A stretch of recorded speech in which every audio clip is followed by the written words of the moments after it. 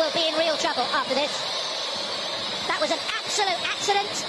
There's no intention from the player whatsoever. He got the second yellow red. He then manhandled the referee, for which he may well see further punishment, Diego Carlos. But the referee's antics there will get him in hot water, I'm absolutely sure. I've never seen that from a...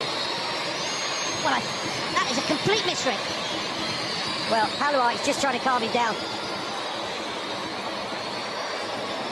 Well, he's chipped the referee. That's an inadvertent coming together there. And the referee then stabbed out and put it in.